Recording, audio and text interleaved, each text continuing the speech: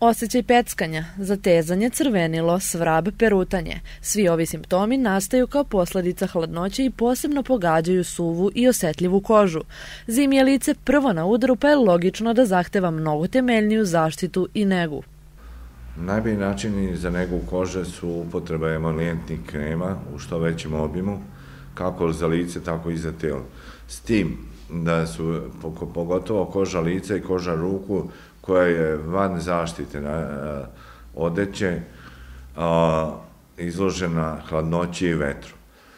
Najbolje koristiti emolijentne kreme ukoliko nema pukotine na koži sa jednim dodatkom ure, hemijskog preparata koji zadržava vlagu u koži, a za lice čiste i hranjive emolijentne kreme. Što se tiče umivanja i pranja, najbolje koristiti uljne kupke jer one zadržavaju vlagu i lipidni film na koži. Kada pričamo o pranju ruku, temperatura vode ne bi trebala da bude previsoka, dok dečije sapune treba izbegavati jer isti dodatno isušuju kožu, stoga treba uvek birati glicerinske.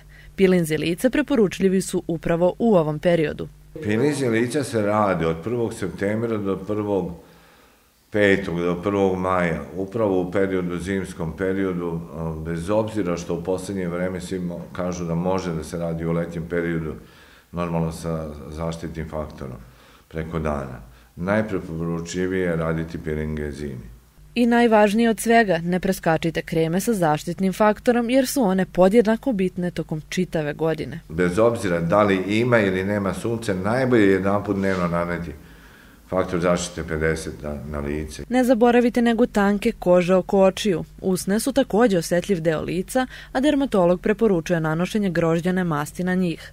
Umivanje ograničite na dva puta dnevno, ujutru nanesite kremu lakše teksture, dok za noć birajte masnije i hranljivije.